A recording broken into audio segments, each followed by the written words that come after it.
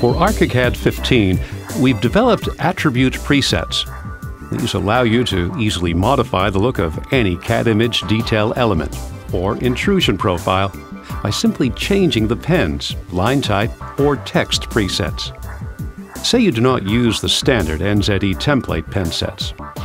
Every time you go to place a Cadimage detail element, you need to adjust the pens to your office standard.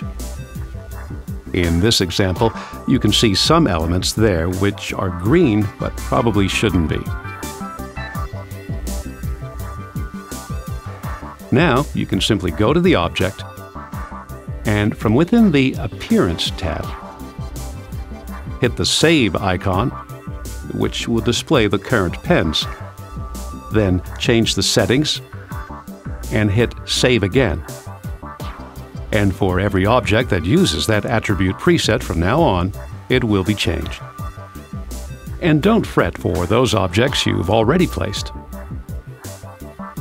There is a button for them to update too.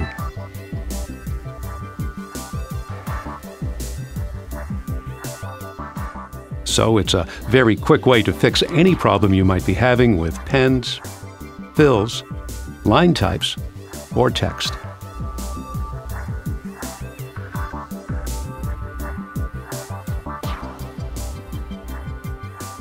Those of you a little more organized may want to sort all the attributes before any project work starts. This can be done globally in the Preset Manager under Attribute Sets. Just choose the preset attribute to edit.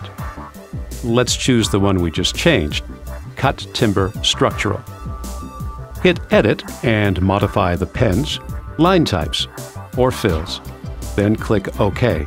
From now on, whenever you use the cut timber attribute, it will use your new chosen pens, etc. We do realize that a lot of you aren't using the default template.